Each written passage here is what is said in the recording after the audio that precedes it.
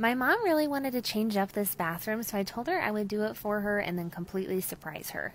I started just by taking everything out of the bathroom and taking everything apart that we didn't want there anymore. I took out the little mirror medicine cabinet things out of the wall, and then I unscrewed all of the light switches and I took apart all of the cupboard doors.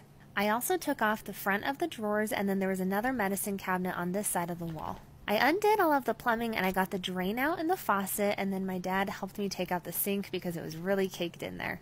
We lifted out the giant mirror and we also took off the countertop.